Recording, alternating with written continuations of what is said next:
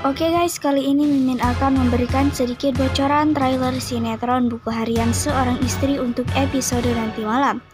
Tapi sebelum lanjut ke videonya, jangan lupa untuk tekan tombol subscribe dan nyalakan lonceng notifikasinya ya guys, agar Anda tidak ketinggalan info-info terupdate lainnya dari channel ini.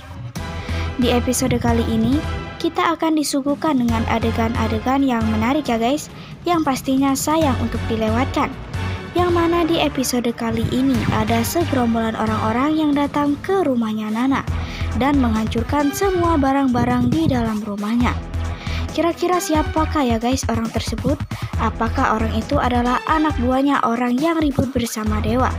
Karena ketika ribut bersama dengan Dewa, orang itu mengatakan bahwa ia akan membalas perbuatan Dewa ini melalui keluarganya. Ia akan membuat hidup keluarganya menjadi menderita dan mungkin saja orang tersebutlah yang melakukan hal ini.